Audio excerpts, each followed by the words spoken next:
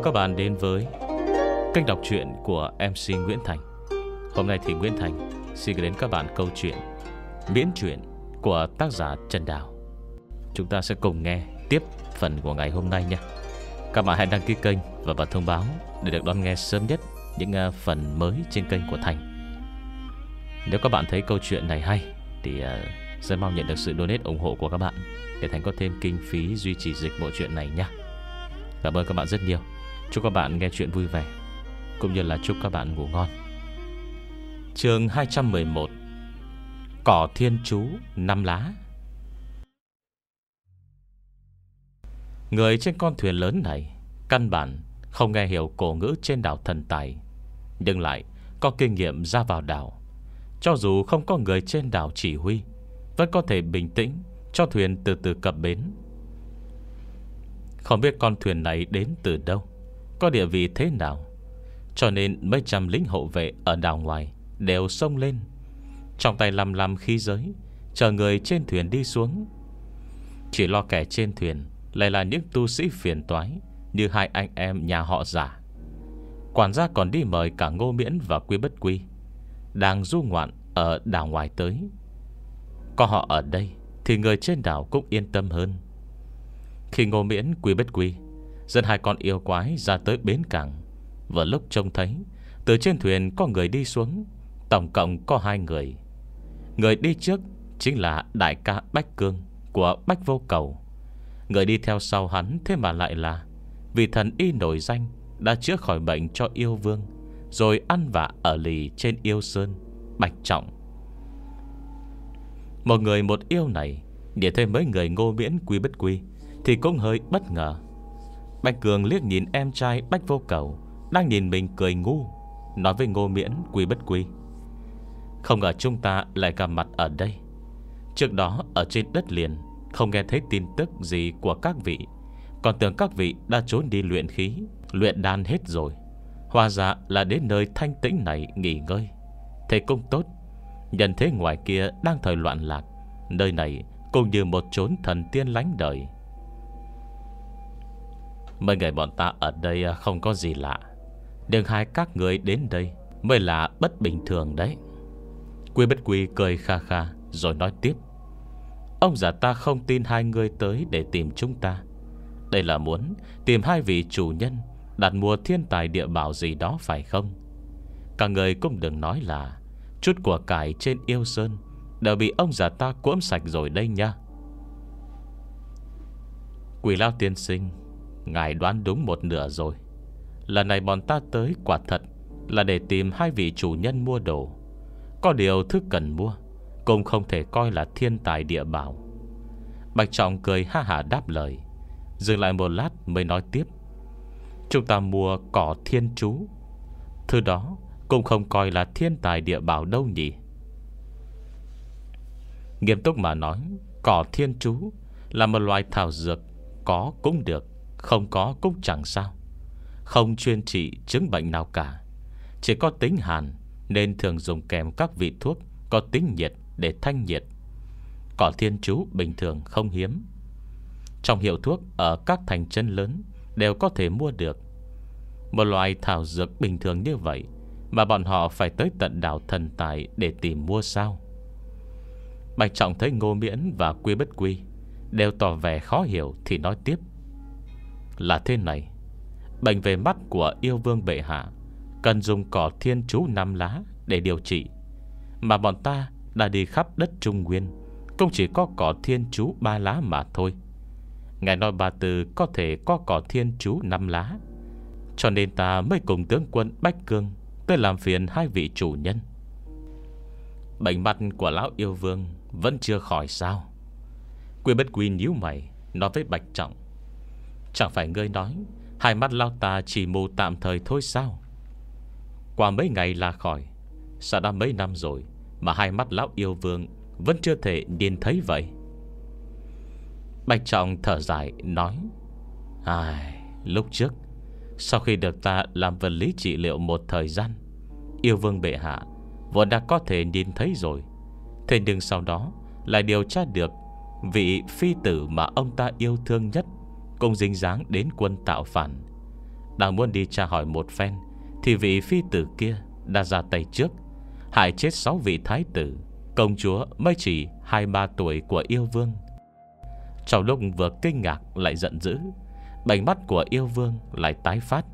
Lần này tương đối nghiêm trọng, Nếu muốn chữa khỏi hẳn Thì ngoài thuốc của ta ra, Còn cần thêm cỏ thiên chú năm lá nữa. Quy bất quy chưa kịp nói gì, Bạch vô cầu đã nói trước. Bạch cương này, Chúng ta là người một nhà cả. Ông đây thấy lạ thì hỏi, Nếu các người biết ba từ Có cỏ thiên chú năm lá, Thì sao không tới thẳng đó mà tìm? Còn mất thời gian tới đây làm cái gì? Thời gian à, các người vòng vèo Tới đảo thần tài Nó không chừng Đã tìm thấy cái cỏ năm lá gì đó Ở ba tư rồi cũng nên đấy. Bạch trọng tiên sinh Cần một vạn năm ngàn cân cỏ thiên chú. Bạch Cường nhìn em trai mình Đầy bất đắc dĩ. Hắn thở dài rồi kiên nhẫn giải thích. Bạch trọng tiên sinh, Muốn dùng một vạn năm ngàn cỏ thiên chú năm lá Để tinh luyện ra Ba lạng ba tiền hai phân thuốc dẫn. Người nghĩ xem, Cho dù ba tư Thừa thái cỏ thiên chú năm lá, Thì chúng ta có thể tìm được Một vạn năm ngàn cân cỏ trong vòng một hai ngày được không? Ngày nào cũng có chuyên môn riêng. Ta đương nhiên Phải tìm thương nhân chuyên nghiệp Như hiệu buôn tứ thủy đi ba tư mua giúp rồi. Dùng một vạn năm ngàn cân Luyện ra ba lạng ba tiền đã. Không phải ông đây nói các người chứ. Thế này cũng phá của quá rồi. Bạch vô cầu trợn tròn mắt, Nhìn hai người Bách Cương và Bạch Trọng. Bản thân không thể hình dung ra được Khái niệm này là thế quái nào? Không phải dùng hết Một vạn năm ngàn cân cỏ thiên chú Cho một lần tinh luyện đâu. Phương pháp này ta cũng chỉ mới xem được Trong y kinh của tổ tiên. Bạch Trọng cười một chút, Tiếp tục giải thích. Cần dùng 3.000 cân cỏ thiên chú Trải qua trưng cất, Phơi nắng. Sau lại lưu trữ, Tinh luyện mấy lần, Mới ra ba lạng ba tiền thuốc dẫn. Ta lo lắng xảy ra trường hợp ngoài ý muốn. Luyện một lần không thành công Để mới chuẩn bị thêm gấp 5 lần Cho chắc ăn thôi. Trong lúc hai bên nói chuyện, Quản gia luôn đứng cạnh lắng nghe. Thấy hai người kia chỉ là khách hàng Tới mua cỏ thiên chú năm lá, Ba tư, Thì mới thở phào. Lập tức bảo đám thuộc hạ Gó chống truyền tin vào đào trong. Hai vị chủ nhân biết là khách từ Yêu Sơn tới, Đương nhiên không dám thất lễ. Dùng cổ ngữ dặn dò quản gia, Tiếp đón cẩn thận. Hai người bọn họ sẽ tới ngay. Chuyện cũng rất tình cờ. Lúc một người một yêu vừa xuống thuyền, Tôn Tiểu Xuyên Cũng đang trên đường đi ra đảo ngoài. Tôn chủ nhân nghe tin Lại có khách quý tới, Lập tức lệnh cho phu xe, Quất roi thúc ngựa. Chỉ hơn một canh giờ sau, Nhân vật thứ hai trên đảo thần tài Đã ra tới đảo ngoài. Tôn Tiểu Xuyên từng gặp Bách Cương sau đó cũng từng điều tra tìm hiểu Vị đại yêu này một phen, Biết lai lịch của hắn ta, Rồi lại càng không dám khinh thường. Lại được quy bất quy giới thiệu, Cho biết vị bạch trọng kia Cũng là người được yêu vương trọng dụng. Tôn Tiểu Xuyên lập tức Mời hai người họ đến nhà khách, Vừa bày tiệc tiếp đãi, Vừa chờ Lưu Hỷ tới. Bạch Cường và Bạch Trọng Không có lòng dạ tham dự tiệc rượu, Vừa tới nhà khách là bách cương đã nói thẳng chuyện họ. Cần một vạn năm ngàn cân cỏ thiên chú năm lá, Xuất xứ từ Ba Tư. Cỏ thiên chú năm lá sao? Hình như tiểu xuyên ta quả thật Từng điền thấy nó ở Ba Tư. Quản gia, Mang sổ sách liên quan đến dược liệu tới đây. Dù sao cũng là người làm ăn lớn. Tôn Tiểu Xuyên vừa nghe Là biết bọn họ muốn cái gì, Lập tức tra sổ sách Quả nhiên thấy tên cỏ thiên chú, Trong danh sách mua bán dược liệu, Trong lãnh địa Ba Tư. Sau đó, Tôn Tiểu Xuyên lại tìm tranh thảo dược. Xác thực tên cỏ thiên chú mua bán ở Ba Tư Đều là loại cỏ năm lá. Tôn Tiểu Xuyên thấy bộ dạng gấp gáp, Chỉ hận không thể chạy ngay tới Ba Tư Của Bách Cương và Bạch Trọng, Thì an ủi mấy câu, Sau đó lại lệnh cho quản gia Dùng cổ ngữ Khẩn cấp truyền tin tức Cần thu gom gấp Một vạn năm ngàn cân cỏ thiên chú năm lá. Tiếng chống lệnh Được các thuyền trên bến truyền đi. Chỉ cần mấy ngày Là sẽ chuyển đến Ba Tư, Với tốc độ làm việc của hiệu buôn tứ thủy. Trong vòng một tháng nhất định Sẽ có thuyền lớn Chở đủ một vạn năm ngàn cân cỏ thiên chú mang về. Tôn Tiểu Xuyên lo lắng, Bạch Trọng sốt ruột, Còn cố ý truyền cổ ngữ ra lệnh, Mang ba ngàn cân cỏ thiên chú về trước. Bên đầu Bạch Trọng Là một lần là thành công. Tôn Tiểu Xuyên vừa dùng cổ ngữ truyền lệnh không lâu. Lại chủ nhân của hiệu buôn tứ thủy Cũng đã có mặt ở nhà khách. Lưu Hỷ thấy Tôn Tiểu Xuyên Đã thu xếp ổn thỏa xong xuôi, Thì lập tức cho mở lại đại tiệc, Đón gió tẩy trần, Tiếp đón hai vị khách, Một người một yêu này. Sau vài chén rượu, Ngô Miễn đặt ly xuống. Hiếm thấy một lần chủ động bắt chuyện với một người một yêu trước mặt. Các người đều đi, Thì yêu vương phải làm sao? Bây giờ ông ta đang mù Thân tín điều Bách Cương Lại không ở bên cạnh. Chả lẽ ông ta nghĩ thông suốt rồi? Định dựa vào mấy thằng con trai hộ giá. Thế thì gọi gì là nghĩ thông, Nghĩ quẩn thì có. Quy bất quy cười kha kha nói, Đám con của lão yêu vương kia ấy mà. Nói kho nghe là, Nếu lúc sinh ra bóp chết hết, Thì không may, Chỉ uổng mất mấy đứa hiếu thảo. Chứ cứ cách một đứa bóp chết một đứa, Thì chắc chắn là còn sót nhiều lắm. Bạch Cường nghe nhắc tới, Đám con trai của yêu vương Thì cũng rất bất đắc dĩ. Bệ hạ đã triệu hồi, Bốn vị tướng soái chấn thủ biên cương, Lại có thái tử cương minh phụ tá. Sẽ không xảy ra chuyện như lần trước nữa. Bạch vô cầu nghe thế thì hỏi, Khoan đã, Chẳng phải chỉ có hai lão già còi xương Chấn thủ biên giới yêu sơn thôi sao? Bốn tướng soái nữa Ở đâu ra vậy? Bốn tướng soái Chấn thủ vùng biên giới Tiếp giáp minh giới. Bạch Cường chậm rãi nói tiếp, Nơi họ chân giữ Gọi là minh giới vô biên. Hết trường 211 Chúng ta cùng nghe tiếp Trường 212 Bạn bè của Quy Bất Quy. Mấy ngày sau, Cổ ngữ của hiệu buôn tứ thủy Được truyền về. Bao tin bà Tư Đang bị hạn hán Nên cỏ thiên chú khan hiếm.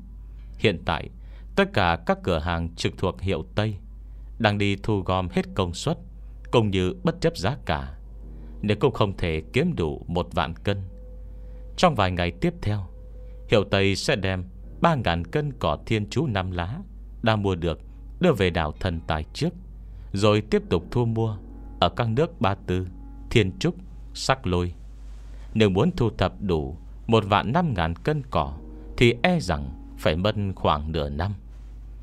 Nửa năm là quá lâu so với dự kiến của Bách Cương và Bạch Trọng. Ban đầu bọn họ cho rằng Chỉ cần tới được hiệu buôn tứ thủy Là có thể giải quyết vấn đề một vạn năm ngàn cân cỏ thiên chú năm lá, Một cách dễ dàng. Không ngờ ngay cả hiệu buôn tứ thủy Cũng gặp phải phiền phức. Nếu cùng may, Đã có trước ba ngàn cân cỏ thiên chú Cứu nguy. Năm ngày sau Chuyên hàng vận chuyển 3.000 cân cỏ thiên chú Đầu tiên cập bến đảo thần tài. Bạch Cường và Bạch Trọng Không dám lề mề, Lập tức mang 3.000 cân cỏ thiên chú Về yêu sơn trước. Trước khi đi Hai người có gửi gắm hai vị chủ nhân, Dặn rằng Khi lô hàng cỏ thiên chú tiếp theo cập bến, Thì cứ phái người đáng tin cậy Đưa tới chân núi yêu sơn. Bạch Cường còn để lại ngọc bài yêu tướng của mình làm tin. Yêu quái trên yêu sơn điên thấy Sẽ không dám làm khó người đưa hàng. Một người một yêu bọn họ Vừa mang cỏ thiên chú đi chưa được bao lâu, Thì hiệu Tây lại truyền tới tin tức mới, Nói rằng Phát hiện số lượng lớn cỏ thiên chú năm lá ở Thiên Trúc. Hiện tại đã thu mua được 3 vạn cân, Đang vận chuyển lên thuyền. Trong vòng 3 ngày nữa Là có thể vận chuyển từ bến cảng Thiên Trúc Về đảo Thân Tai Bây giờ đang là thời điểm gió mùa Tinh ra chưa đến 20 ngày Là có thể đưa hàng đến hiệu đông Trên đảo Thần Tài. Liêu Hỷ đưa thư báo cho Quy Bất Quy xem, Cười khổ mà nói không biết nên nói Hai vị kia may mắn hay xui xẻo. Bà Tư gặp hạn, Lại phát hiện ra thiên trúc cũng có. Vốn chỉ cần Một vạn năm ngàn cân, Chúng ta lại tìm được gấp đôi. Nếu họ chờ thêm ba ngày, Thì đã không cần phải vội vàng lên đường như vậy. Ai, Số mệnh lão yêu vương đã vậy rồi. Quy bất quy cười kha kha, Nói với Lưu Hỷ. Điện hạ, Ông già ta nhắc ngươi một câu. Chuyện trên yêu sơn từ trước đến nay Chưa bao giờ đơn giản. Chỗ dựa này của ngươi không chắc đâu. Phải nhìn cho chuẩn. Lưu Hỷ mỉm cười, đáp lại. Suốt trăm ngàn năm qua, Tuyến đường yêu sơn Luôn là cấm kỵ của người buôn bán. Nếu hiệu buôn tứ thủy bọn ta Có thể phá vỡ cấm kỵ này, Thì lúc đó Sẽ không còn bị những kẻ như Thạch Sùng Hay giả nhân giả nghĩa nhòm ngó nữa. Bây giờ dốc sức, Cũng chỉ là mua trước ngàn năm Thái Bình Cho đời sau thôi. Trong khi Lưu Hỷ nói chuyện, Tôn Tiểu Xuyên đã sai quản gia, Đi truyền cổ ngữ, Để Bách Cương và Bạch Trọng Cứ an tâm về yêu Sơn lo liệu trước. Hai vị chủ nhân sẽ tự mình Đưa ba vạn cân cỏ thiên chú năm lá tới sau, Đảm bảo không chút sai lầm. Bạch vô cầu nghe Tôn Tiểu Xuyên dặn dò quản gia Thì hơi cau mày. Chờ hắn nói xong Tiền thổ lộ mới hỏi chuyện Tôn chủ nhân. Hai người can người làm chủ Mà tự đi vận chuyển ấy hả? Vậy mấy người bọn ta phải làm gì đây? Hai người các người vứt ông đây Trên cái đảo hoang này, Rồi lên bờ hưởng thụ con đúng không? Họ tôn à Không có cái giấc mộng ấy đâu nhá. Trong hai người nhất định Phải có một người ở lại đảo với bọn ta. Muốn ngột ngạt Thì tất cả cùng nhau ngột ngạt chết. Không phải hai người bọn ta, Mà là chúng ta. Tôn Tiểu Xuyên cười nhăn nhở, Nói với tên thô lỗ. Chuyện này rất quan trọng, Liên quan tới tương lai sau này của hiệu buôn tứ thủy. Tuy Tiểu Xuyên ta và Điện Hạ Hưởng sái cây phúc Của các vị Mới có được thân thể trường sinh bất lão, Nếu gặp chuyện Thì vẫn phải nhờ người khác giúp đỡ. Ngài nói xem, Các ngài nhân tâm Để cho hai tên chói gà không chặt bọn ta. Đi áp tải hàng sao? Tiểu Xuyên nhà ngươi Muốn mượn việc công làm việc tư, Đi tìm nương tử nhà các ngươi ấy gì? Sao còn cái đấy Ngươi không nói rõ ra? Quy bất quy cười hì hì, Liếc nhìn ngô miễn Đang nhắm mắt như ngủ quên, Lại nói tiếp. Bọn ta ở trên đảo nhà các ngươi Hơn một năm rồi Cùng nên ra ngoài đi lại một chút. Đừng nói đi, cũng phải nói lại nhé. Nếu ra ngoài gặp được quảng đế, Nàng ấy chịu quay về, Thì mấy người bọn ta Cũng xong việc rồi phải không nhỉ? Liêu Hỷ và Tôn Tiểu Xuyên Nghe Quy Bất Quy có ý muốn đi luôn, Thì liếc nhìn nhau một chút, So sánh ra. Tuy Quảng Đế không dễ gần, Nhưng còn tốt hơn cái tính ưa sặc chết người của Ngô Miễn rất nhiều. Cô không cần lo lắng Nàng có miêu đồ gì với cơ người của bọn họ. Bây giờ ở cùng quê Bất Quy hơn một năm, Hai người nói chuyện với ông già Đều phải hết sức cẩn thận, Chỉ sợ không khéo Lại bị lao cáo già này Vừa được câu nào chèn ngay câu ấy. Liêu Hỷ và Tôn Tiểu Xuyên Đều có cảm giác rằng Ở chung với ông già này lâu rồi, Làm không khéo, Coi chừng có ngày Chuyện làm ăn của hiệu buôn tứ thủy Sẽ đổi thành họ quy luôn. Sao lại nói vậy chứ? Đang yên đang lành, Ngài nói chuyện này làm gì? Tôn Tiểu Xuyên thở dài, Nói tiếp. Các ngài mới ở được mấy ngày cơ chứ? Lúc trước Tiểu Xuyên ta Cùng Điện Hạ Còn nghĩ các ngài sẽ ở lại đảo chúng ta 80-100 năm. Còn chuẩn bị mua xây một tòa nhà lớn cho các ngài. Bây giờ các ngài đột nhiên nói vậy, Thật sự khiến trong lòng Tiểu Xuyên Không dễ chịu chút nào. Người còn dám nói thế, Thì quy bất quy, Cũng có gan ở lại đây 80-100 năm thật đấy. Lúc này, Ngô Miễn mở mắt, Nói với Tôn Tiểu Xuyên đang xấu hổ. Chuẩn bị đi, Khi nào thuyền hàng đến, Chúng ta sẽ đi luôn. Vừa đến ngày thứ 20 Thuyền hàng chở 3 vạn cân cỏ thiên chú năm lá Từ thiên trúc trở về, Cung cập bến đảo thần tài. Trong lúc Tôn Tiểu Xuyên sai người Đi kiểm tra hàng hóa Quy Bất Quy và Ngô Miễn Đã dẫn hai con yêu quái lên thuyền lớn Chuyên dụng của hai vị chủ nhân. Mấy canh giờ sau, Lưu Hỷ và Tôn Tiểu Xuyên dần theo mười mấy tên nô lệ Côn Luân Và thị nữ Ba Tư lên thuyền. Ngoài con thuyền lớn này ra, Xung quanh còn có Mười mấy con thuyền hộ vệ, Giống như những lần đi lại trước đây Của hai vị chủ nhân. Chẳng qua lần này, Đối tượng bảo vệ chính Lại là con thuyền hàng Vừa trở về từ Thiên Trúc. 19 ngày sau, Đôi thuyền thuận lợi cập bến cảng quận Hải Nam. Nơi này Đã chuẩn bị sẵn sàng Một thương đội hơn trăm cỗ xe ngựa Chờ vận chuyển. Vì đây là hàng hóa của Yêu Sơn, Nên hiệu buôn tứ thủy Còn huy động 15 đội bảo vệ hàng, Tinh giá đã hơn ngàn người. Bây giờ thiên hạ đại loạn, Quân hùng sưng bá, Cứ chiếm bựa một ngọn núi là có thể tùy ý xưng đế xưng vương. Đa số thành trấn phía Bắc Đều đã rơi vào tay đám người hồ Như Tiên Ti, Hung Đô. Phần lớn đất đai phía Nam Vẫn nằm trong tay người Hán.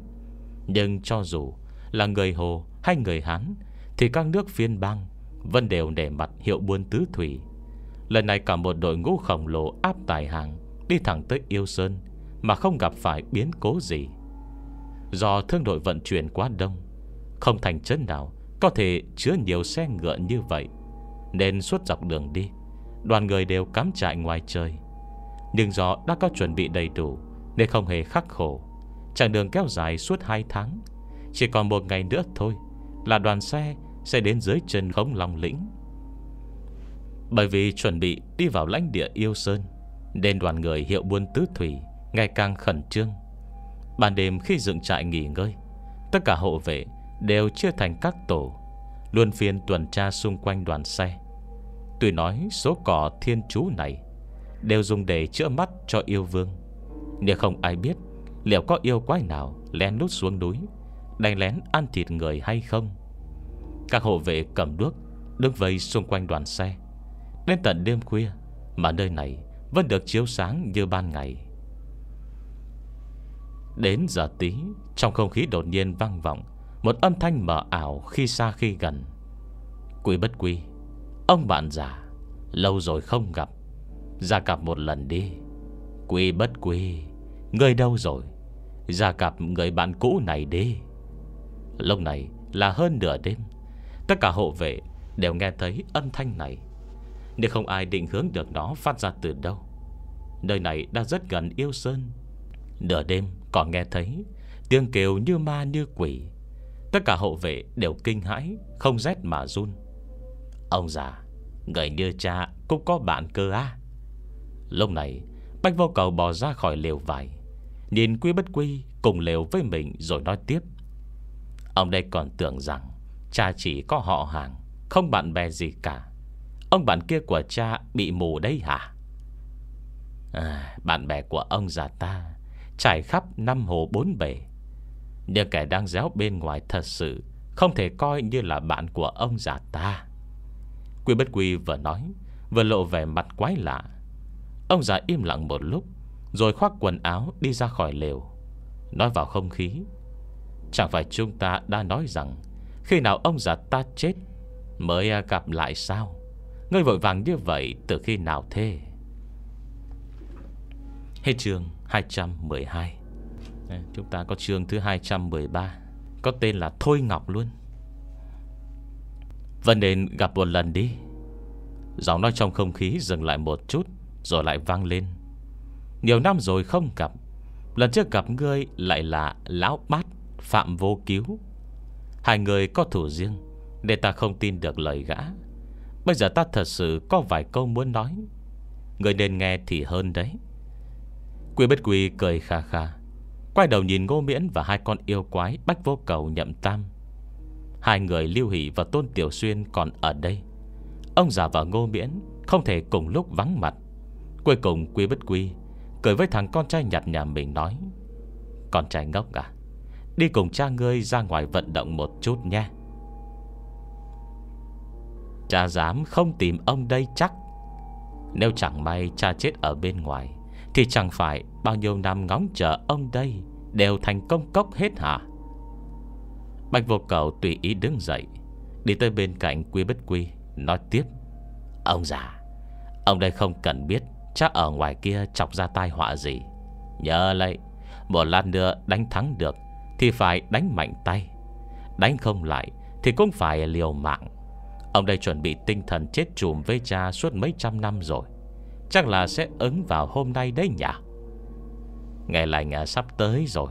Trái tim bé bỏng của ông đây à, Cứ nhảy thình thịch không yên đấy. Nhìn bách vô cầu hưng phấn Đến đỏ bừng cả mặt. Trong lòng quy bất quy Lạnh đi mấy phần.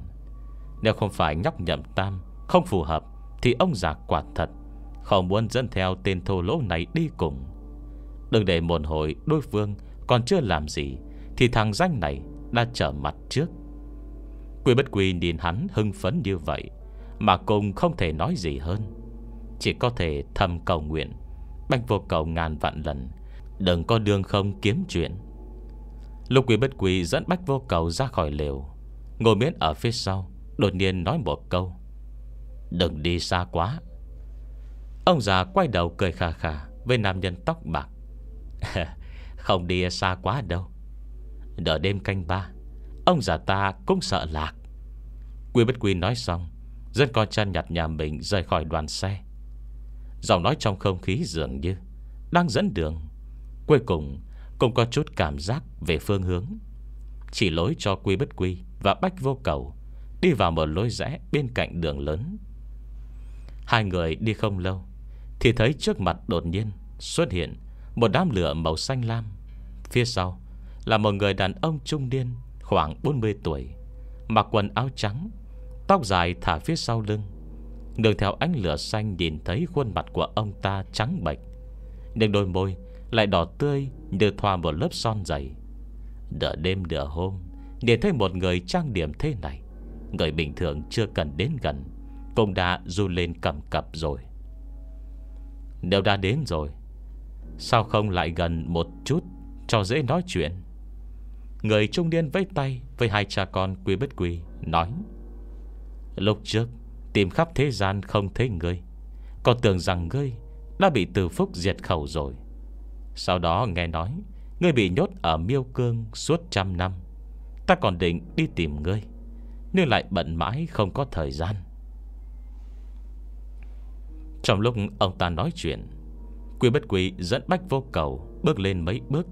Lúc này, Tiền thổ lô mới phát hiện Trong mắt của người đàn ông này Không có lòng đen. Ông ta mở đôi mắt giống như Một quả cầu sáp màu trắng đục, Khảm vào trong hốc mắt Nhìn bách vô cầu, Cười nói, Mắt ta hơi dị một tí, Không làm ngươi sợ chứ? À đừng khách sáo thế. Từ đầu đến chân, Người có chỗ nào không quái dị đâu. Có thể là Bách Vô Cầu Cảm thấy có cha ruột đứng cạnh, Nên ăn nói không chút kiêng rẻ. Cùng lắm thì đồng quy vô tận với ông già thôi. Cũng không phải chuyện xấu. Chính là người tìm ông già nhà chúng ta đây hả? Bây giờ người cũng đến rồi. Muốn nói gì? À, Thì nói cho nhanh lên. Nửa đêm người không ngủ được. Ông đây vẫn muốn Thằng con trai ngốc nhà ông già ta Ngây thơ không hiểu chuyện. Thôi Ngọc Lão Huynh Xin đừng trách. Quy bất quý thấy Bách Vô Cầu chuẩn bị chửi ẩm lên. Thì vội cướp lời. Vừa kéo Bách Vô Cầu ra sau lưng mình, Vừa cười nói với người tên là Thôi Ngọc trước mặt. Nhiều năm không gặp, Ông anh thế nào lại nhớ tới ông già ta thế? Có phải là Là có chuyện tốt gì Muốn để phần cho ông già ta không? Người đã thoát khỏi vòng sinh tử, Chúng ta làm gì Còn lợi ích nào cho ngươi hưởng được đây? Thôi Ngọc hơi cười, Dừng lại một chút, Rồi tiếp tục nói với Quy Bích Quy. Không nói rông dài nữa, Để môi giao tình trong quá khứ, Nhắc nhở ngươi Đừng quản chuyện của yêu Sơn. Cho đám người kia Tự mang cỏ thiên chú lên là được. Mời ngày các người đừng lên núi thì hơn. Ta có thể ngồi lên vị trí hiện tại, Cũng nhờ có quy bất quy ngươi giúp sức. Bây giờ ta Trả lại ân tình này cho ngươi. Chuyện trên yêu sơn lần này, Các người đừng đúng tay vào. Bằng không. Cho dù các người có thân thể trường sinh bất lão, Thì cũng sẽ vong mạng trên yêu sơn thôi. Quảng đề công suất thế rồi. Thôi Ngọc chưa nói xong, Quy bất quy đột nhiên nói một câu không đầu không cuối. Người đàn ông mắt trắng Vừa nghe thế, Thì liền quên bẵng mất phía sau mình định nói gì. Quy bất quy thấy phản ứng của đối phương, Thì cười khà khà nói Chủ chuyến hàng ngoài kia, Tên Lưu Hỷ, Tôn Tiểu Xuyên. Hai người bọn họ Vẫn luôn cung phụng, Chỗ ăn chỗ ở cho Quảng Đế Suốt bao nhiêu năm qua. Còn của Tôn Tiểu Xuyên Còn là đệ tử của Quảng Đế. Ông anh ngươi đoán xem, Nếu bọn họ ở chỗ này xảy ra chuyện gì ngoài ý muốn, Quảng Đế sẽ xử lý thế nào đây? Quảng Đế? Thôi Ngọc nghe đến vị nữ phương sĩ kia thì vẻ mặt có chút biến đổi. Dường như Đã nhớ lại chuyện cũ nào đó. Nhưng chỉ một lát sau, Thôi Ngọc vẫn thở dài, Nói với Quý Bất Quy. Ai, Ta chỉ là có lòng tốt Đến khuyên ngươi một câu. Quý Bất Quy, Chuyện lần này quá lớn, Ngươi không chọc vào nổi đâu. Nếu người còn chịu nghe ta, Thì mau rời khỏi đây, Đừng đi tiếp nữa. Người cứ nói lấp lửng như vậy. Nếu ngươi là ông giả ta, Người sẽ làm thế nào? Quy bất quy cười hì hì. Nên Thôi Ngọc Đang đứng trước mặt, Nói tiếp. Để lúc đó, Nếu hai anh em Lưu Hỷ và Tôn Tiểu Xuyên Gặp chuyện không may trên yêu sơn, Người muốn ông giả ta Phải ăn nói với Quảng Đế thế nào đây? Nếu đệ tử của Quảng Đế Hỏi rằng cha nó đâu, Ông giả ta Phải trả lời làm sao cho phải. Nói là, Hắn đã đi đến chỗ Thôi Ngọc nhà ngươi Xếp hàng lấy canh mạnh bà sao? Thế có khác gì Châm ngòi quan hệ giữa ngươi và Quảng Đế chứ? Loại chuyện này, Ông già ta không thể làm được. Nói như vậy tức là, Người quyết tâm muốn thò chân vào vũng nước đục này. Thôi Ngọc thở dài nói tiếp, Vậy ngươi chỉ cần hứa với ta một chuyện. Đừng để Quảng Đế liên lụy vào chuyện này. Ta sẽ đảm bảo tính mạng cho Lưu Hỷ Và Tôn Tiểu Xuyên. Đừng để Quảng Đế xen vào. Chuyện này có thể làm được chứ? Nghe lời ngươi, Mọi người đã quen biết nhau Bao nhiêu năm như vậy. Lời của ông anh vân dân có trọng lượng mà. Quy bất quy cười một chút Rồi lại nói tiếp. Nhưng ông già ta nghe ngươi úp úp mờ mờ Thật sự là rất gõ chịu. Có thể tiết lộ thêm một chút không? Rốt cuộc trên yêu sơn Đã xảy ra chuyện gì vậy? Ta đã phạm phải đại sai. Quy bất quy người còn muốn ta sai Càng thêm sai sao? Thôi Ngọc thở ra một hơi, Để mặt quảng đễ, Nên vẫn nói tiếp. Yêu Sơn hiện giờ Đâu còn như xưa. Nếu các người muốn lên núi Thì mau chóng xuống cho sớm. Ta chỉ có thể nói đến vậy thôi. Các người đi đi. Nửa cái chuyện mà ngươi đã hứa với ta. Thế đã là không ít rồi. Quy bất quy nghe vậy thì cười kha kha.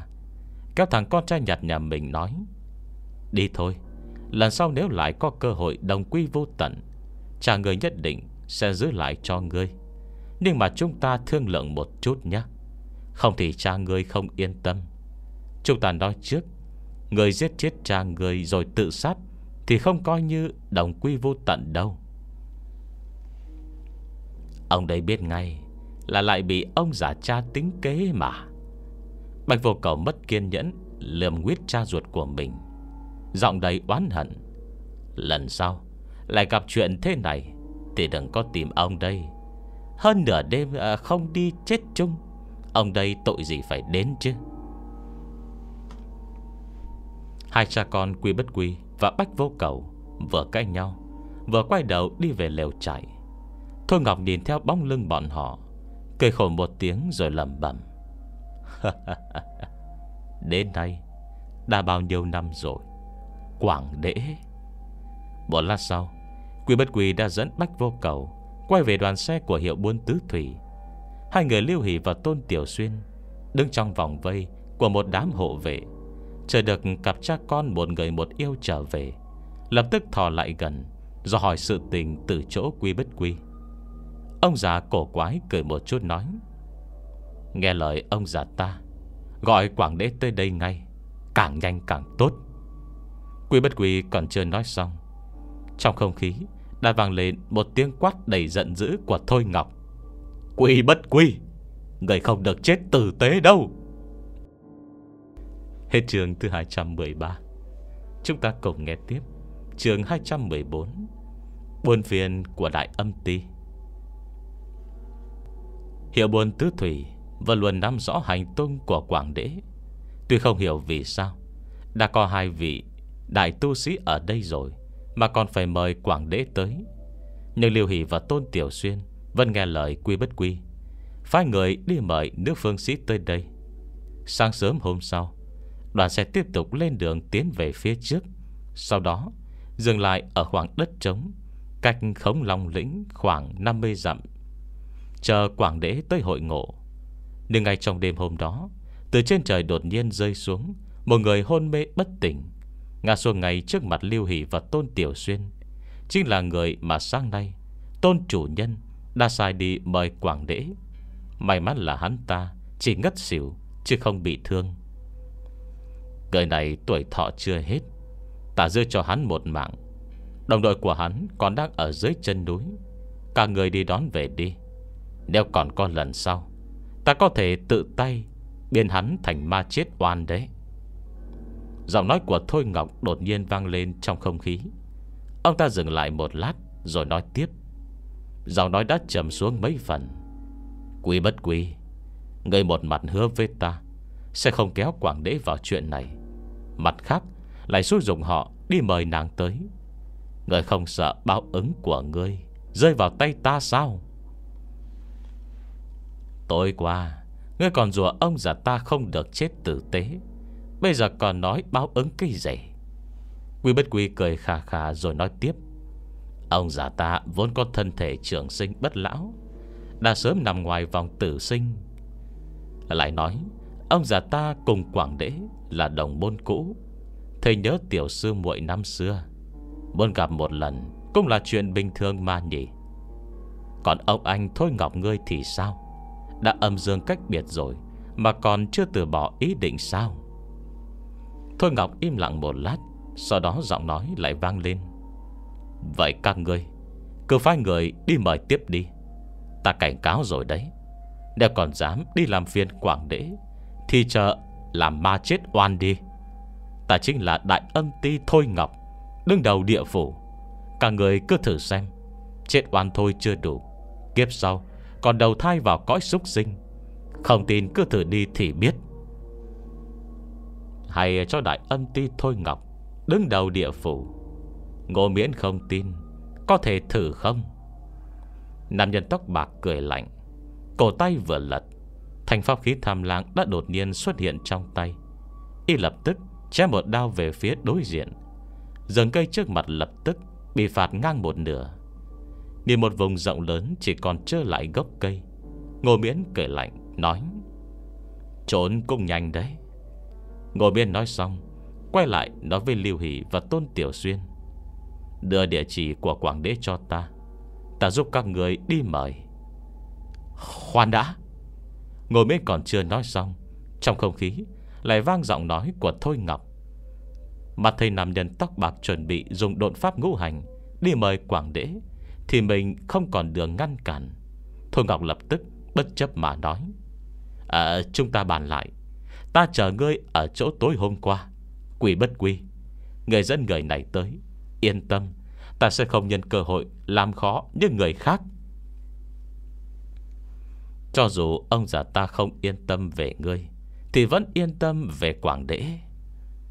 Quy bất quy cười ha ha, Liếc mắt ra hiệu với ngô miễn, Vốn cho rằng Nam nhân tóc bạc Sẽ đi đồng ý gặp Thôi Ngọc với mình. Ai ngờ ngô miễn Lại làm như không nghe thấy. Y cất tham lang rồi quay về lều của mình Vừa đi vừa nói, Lão già, Ông đi đi. Quý bất quỷ đã quen với tính cách của ngô miễn Lập tức cười kha kha Đi vòng qua thằng con trai nhặt nhà mình. Đến thẳng chỗ nhóc nhậm tam Đang say rượu đỏ bừng mặt Nói Nhân sâm Đi cùng ông già tam một chút Thuận tiện ờ, cho ngươi tỉnh rượu luôn. Trước khi Bạch Vô Cầu kịp nổi khùng, Quý bất quý Đã ôm thằng nhóc nhân sâm chưa tỉnh rượu Lình đi mất. Tìm tới nơi đã gặp đại âm ti Thôi Ngọc tối hôm qua. Đến nơi đã thấy Thôi Ngọc đứng đó. Lành lùng đôi đôi mắt trắng dã Mà nhìn một lớn một nhỏ này. Trước khi Thôi Ngọc kịp mở miệng mắng chửi Quỷ bất quỷ đã cười nói Như chưa từng có chuyện gì xảy ra. À, Đừng nhìn ông già ta như vậy chứ. Ông già ta vốn Cũng chỉ muốn tốt cho ngươi Nên mới mời Quảng Đế tới Cho ngươi gặp nàng một lần. Chứ đâu có bảo sẽ để nàng ta lên yêu sơn người chẳng hiểu lòng tốt gì cả. Nếu Quảng Đế lên yêu sơn, Lưu Hỷ và Tôn Tiểu Xuyên Và cả người của bọn họ Đều sẽ phải để mạng lại trên núi. Thôi Ngọc cắn răng nhẫn nhịn, Chờ cho quy bất quy nói xong mới lên tiếng. Ta thả rằng kiếp sau, Dùng trăm ngàn năm tạ tội với Quảng Đế, Cũng không muốn nàng Bước vào nơi nguy hiểm. Rồi thằng con trai tối hôm qua đi cùng ngươi. Và nhóc nhân sâm này Cũng đều phải để mạng lại đây. Người nói ra lời này, Ông già ta thật sự Không nhịn được phải khen một câu. Quy bất quy cười khà khà một tiếng Rồi nói tiếp, Nào, Để ông già ta giới thiệu với ngươi một chút. Vị tiểu thiếu gia này Là thiếu gia Nhà đại thuật sĩ tịch ưng chân, Con nuôi của lão già đó, Tên là Nhậm Tam. Ông anh quay về Hỏi thăm một chút, Xem có phải bố già tịch ưng chân kia Đã nhận một nhóc nhân sâm Làm con trai không? Không chỉ người sống Dám trêu chọc tịch ưng chân, Ngay cả đại ân ti Cũng không dám chọc bừa. Thôi Ngọc nghe đến ba chữ tịch ưng chân Thì biết lời nói vừa rồi của mình Không thể thành hiện thực. Quỷ bất quỷ thấy bộ dạng dối dám của ông ta Thì cười kha kha. Ôm nhóc nhậm tam đang say xỉn Tới bên cạnh Thôi Ngọc. Mặt mày tùm tìm nói, Nếu không muốn liên lụy tới Quảng Đế, Thì cũng phải có lý do chứ nhỉ? Người cô biết tính nàng rồi đấy. Một khi sợi tơ Ba ngàn phiền não vung lên, Ông già ta Cũng không ngăn cản được. Thôi Ngọc hít sâu vào một hơi. Cơn nhắc đến Quảng Đế Là lại khiến lòng dạ ông ta dối bời. Mà bản thân Lại không lần ra được đầu mối. Khe lương nhìn nhóc nhậm tam Đang say ngủ trong lòng quy bất quy. Cuối cùng dứt khoát, Đem những lời cấm kỵ Cùng nói thẳng ra. Ta hy vọng lời ta nói cho ngươi biết hôm nay Sẽ không truyền tới tai người thứ ba. Trận quyết chiến giữa địa phủ Và yêu sơn Chuẩn bị diễn ra rồi. Trước đó yêu vương đã bị thương nặng, Hao tổn nguyên khí. Lần này, Ông ta không có phần thắng. Thôi Ngọc nói đến đây Thì dừng lại không nói nữa. Tuy rằng Quy Bất Quy còn muốn biết rõ ràng hơn, Nhưng đại âm ti sống chết Không muốn nói thêm nữa. Oan hận trợn mắt Lượm nguyết ông già, Nói, Nếu người dám kéo Quảng Đế liên lụy vào chuyện này, Người có thân thể trường sinh, Ta không làm gì được. Nhưng đám đồ tử đồ tôn Cùng với con cháu của ngươi Thì đâu có ai như ngươi. Nếu mà hồn phách của họ Rơi vào tay ta mà gặp chuyện bất Mà gặp chuyện bất hạnh gì, Thì đó chính là lỗi của ngươi đấy. Chúng nó ấy à Đứa phải chết Thì đã chết cả rồi. Đứa nào còn sống, Cô không biết đã cách mấy đời rồi nữa. Người dám nói chúng nó Là con cháu đời sau của ông già ta. Ông già ta cũng không dám nhận đâu. Quy bất quy cười một chút, Nói với đại âm ti Thôi Ngọc Sắc mặt đã thoạt xanh thoạt trắng. Để tình quảng đế, Ông già ta muốn nhắc nhở ngươi một chuyện. Ngày trước yêu vương có lập giao ước với tử phúc. Địa phủ các ngươi Không phải là thật sự cho rằng lão già kia Đã chết trên biển đấy chứ? Giao ước của yêu vương và từ phúc. Thôi Ngọc vừa nghe Là hiểu ý quy bất quy. Điều Vân có chút thắc mắc. Từ Phùng đã ra biển mấy trăm năm rồi. Nếu muốn về Thì đã về từ lâu. Sao còn phải chờ đến lúc này chứ? Người nghĩ kỹ đi. Nhưng năm gần đây, Thiên hạ có chuyện đại sự nào Mà lao ta bỏ lỡ không? Quỷ bất quỷ lại bật cười một tiếng, Nói tiếp. Lao ta ra biển thật sự, Cần đến 3.000 đồng tử ư. Bao nhiêu năm qua Nếu người lao ta phái về đất liền cũng đã có vài người chết rồi đấy. Quay về tra xét, Lại xem ai là kình giao, Ai là cơ nguyên. Rồi cũng đi hỏi thăm xem, Mấy năm nay, Từ Phúc đã làm những gì? Giao ước năm đó Là Lao ta và Yêu Vương Đích thân thiết lập. Yêu Sơn mà gặp chuyện, Kể cả lao ta không ra mặt, Thì 3.000 đệ tử dưới tay Cũng sẽ dốc toàn lực ứng cứu. Vận số dòng họ cương Của yêu vương đã hết. Cho dù từ phúc có đích thân ra mặt, Cũng không thể thay đổi được cục diện lần này. Thôi Ngọc cười lạnh, Quay sang tiếp tục nói với Quy Bất Quy. Nhưng gì cần nói, Ta cũng nói cả rồi. Chỉ cần các ngươi không kéo quảng đế vào, Muốn thế nào cũng dễ bàn. Thôi Ngọc vừa nói xong, Ngọn lửa xanh lam trước mặt Đột nhiên bùng lên. Đại âm ti bước vào ngọn lửa xanh. Toàn thân cùng với lửa Đều biến mất vào trong không khí. Một nháy mắt trước khi biến mất, Thôi Ngọc lại đột nhiên Nói vọng lên. Để tình quen biết, Ta nói một câu cuối cùng. Đừng chỉ chăm chăm vào chuyện yêu vương Lập giao ước với tử phúc. Bản thân ông ta Cũng có gia tâm với nhân gian. Lại nói tiếp, Nhân gian với địa phủ vẫn gần gũi với nhau hơn mà nhỉ? Thôi Ngọc vừa biến mất Nhóc nhậm tam cũng mở mắt ra. Nó liếc nhìn vị trí đại âm ti biến mất Ngáp dài rồi mơ màng nói À Lúc nãy nhân sâm bọn ta Nằm mơ phải không nhỉ? À, Có phải là một người chết? Vừa nói rằng ma quỷ bọn chúng So với yêu quái Thì càng gần gũi với người sống hơn á. Chết thì cũng chết rồi.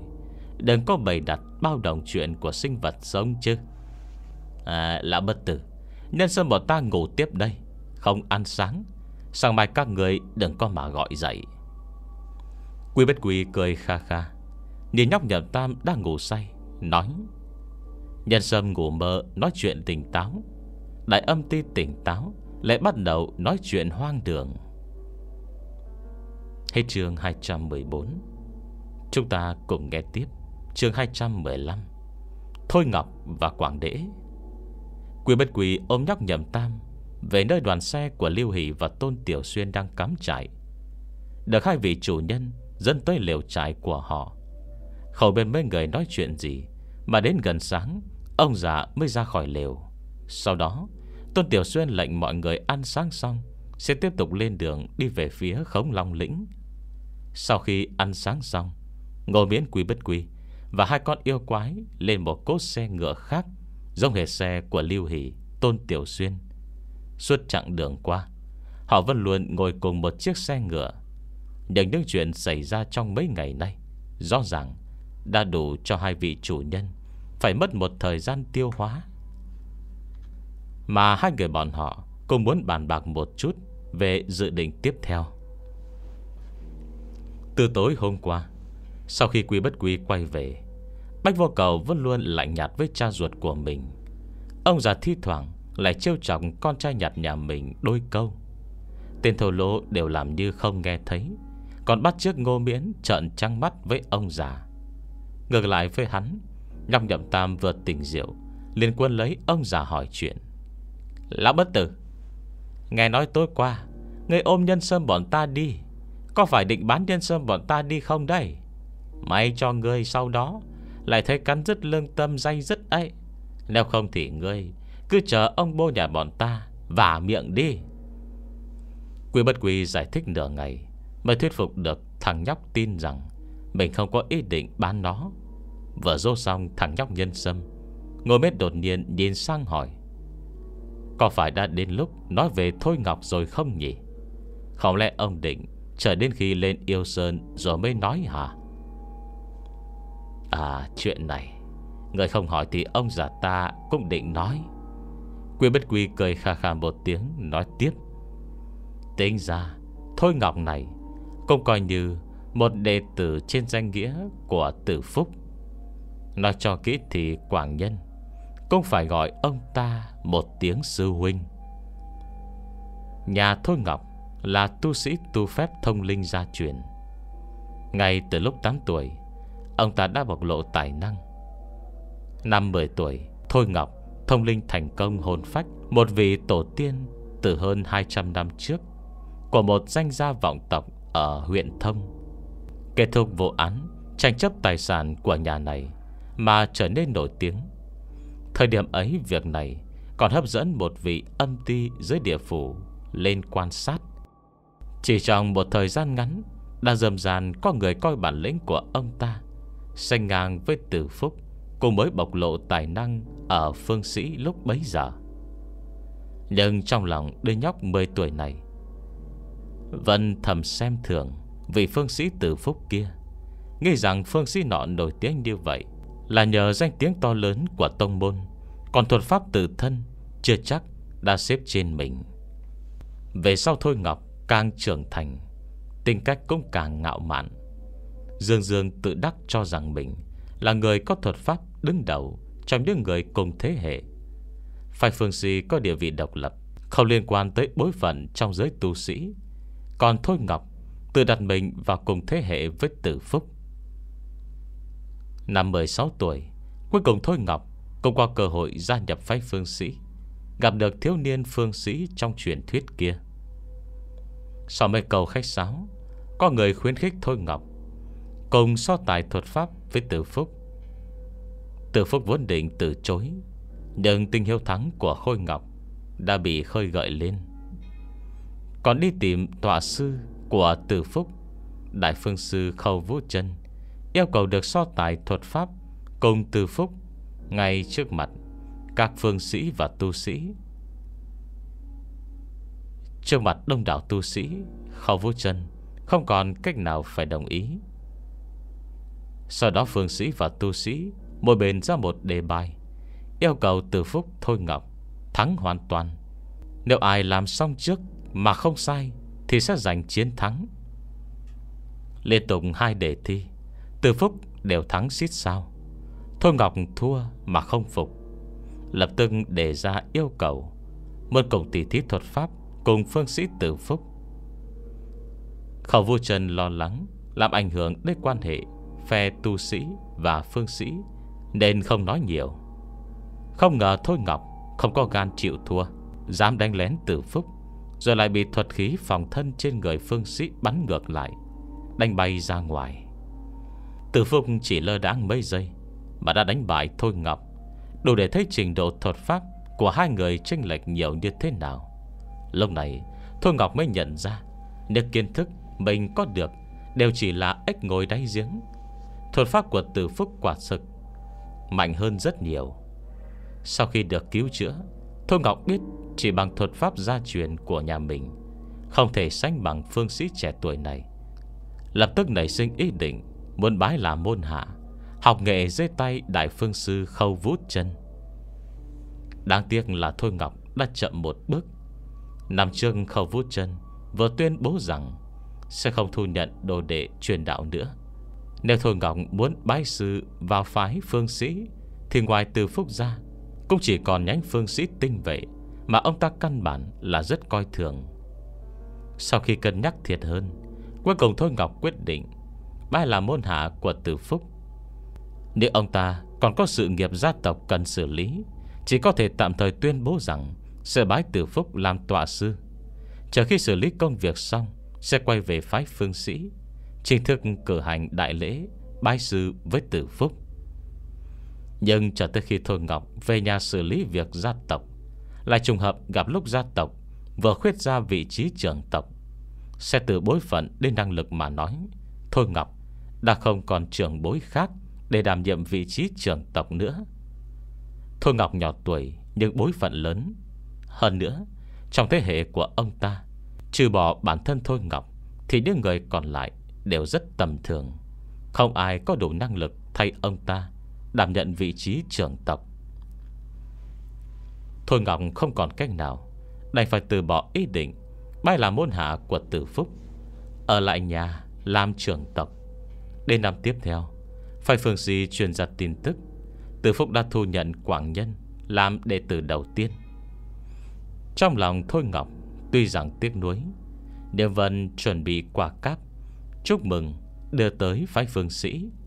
Mặc dù ông ta Chưa phải là đệ tử của tử phúc, Nhưng mỗi dịp lễ Tết Vẫn chuẩn bị đầy đủ quả cáp. Từ mình mang tới Phái phương sĩ Để gặp sư tôn mới, Chỉ bái sư, Chưa kịp làm đại lễ của mình, Thuận tiện thỉnh giáo thêm Về học vấn cũng như thuật pháp.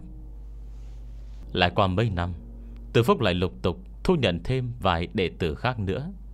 Quả Nghĩa Quảng Hiếu, Quảng Đễ Quy Bất Quy Nối với nhau lần lượt Bay làm môn hạ của Tử Phúc. Trong số những người này, Bởi vì Quy Bất Quy Là bản thân từ nhỏ của Tử Phúc Nên được người khác xem trọng hơn một chút. Thậm chí, Ngay cả Quảng Nhân nhập môn sớm nhất Cũng phải tôn xưng một tiếng Quy Sư Huynh. Còn nữ đệ tử duy nhất Quảng Đế Thì lại nhận được sự săn sóc nhiều nhất. Một năm nọ khi Thôi Ngọc mang quả cáp đi thăm tử phúc, Vô tình gặp được nữ phương sĩ Quảng Đế trong tông môn. Chỉ mới gặp mặt một lần, Hình bóng của Quảng Đế Đã in sâu trong lòng Thôi Ngọc. Vì để có thể gặp sư muội Quảng Đế mỗi ngày, Thôi Ngọc thêm mà dám Ăn và ở lì trong phái phương sĩ Suốt một năm. Bị người trong nhà dục phát phiền, Còn truyền luôn vị trí trưởng tộc Cho một người em trai Có tư chất bình thường.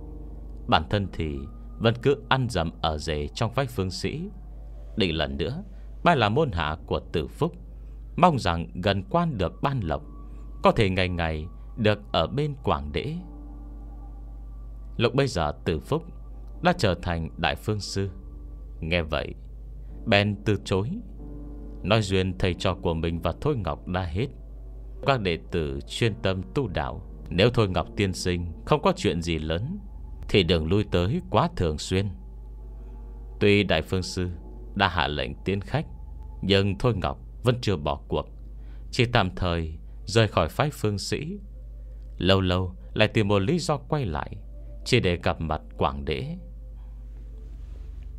Về sau, Từ phúc bị ông ta làm phiền, Lập tức ra lệnh Tất cả nữ đệ tử Đều vào tu luyện trong nội đường, Không tiếp người ngoài. Thôi Ngọc không phải phương sĩ không thể vào trong. Ông ta không còn cách nào, Chỉ đành một lần nữa Rời khỏi phái phương sĩ. Từ đó về sau, Thôi Ngọc như biến thành người khác. Linh tính và thiên phú thời thiếu niên Biến mất hoàn toàn. Mỗi ngày buồn giàu ủ rũ, Để không thở dài Thì lại lặng lặng Vốt ve ngăm nghía những đồ vật quảng đế Đã từng chạm tới.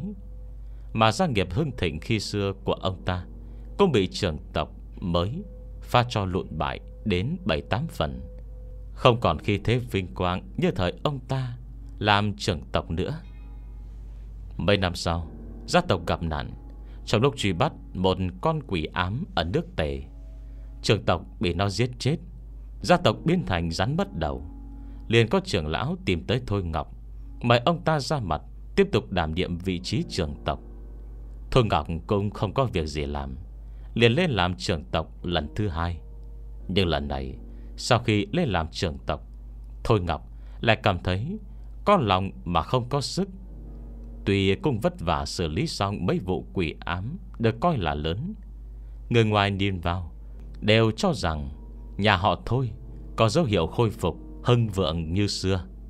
Nhưng trong lòng ông ta hiểu rất rõ Bản thân đã không thể quay về là Thôi Ngọc nhiệt huyết bừng bừng năm xưa. Lại qua mấy năm nữa Vương cung nước tề Xảy ra chuyện quỷ ám. Phương sĩ tổng quản trong cung thất thủ, Chết vào tay ma quỷ. Tề vương không vừa lòng phái phương sĩ, Bèn mời nhà họ thôi, Có tiên tầm cực lớn Trong bộ môn trị quỷ tới xử lý. Thôi Ngọc cùng người trong tộc tới nơi, Bày trận pháp Chuẩn bị tiêu diệt ma quỷ. Không ngờ ngay thời khắc mấu chốt, Thôi Ngọc lại mất tập trung, Ngoài ý muốn thất bại. Ngay trước mặt tề vương, Bị con quỷ đánh lén thành công, Bị nó cắn đứt động mạch cổ. Vương cùng lúc bấy giờ hoàn toàn náo loạn. May mắn đại phương sư tử phúc Dần theo mấy vị đệ tử kịp thời chạy tới. Cứu được tề vương, Còn dùng thuật pháp Đưa con quỷ hung ác kia Về cõi hư vô. Mà Thôi Ngọc chỉ còn thoi thóp thở. Khoảnh khắc cuối cùng trước khi chết. Cùng được gặp lại Quảng Đế Mà mình mong nhớ ngày đêm. Rốt cuộc mang theo Đầy lòng mãn nguyện Rời khỏi nhân thế. Hết chương thứ 215 Kết thúc năm chương của phần đọc ngày hôm nay.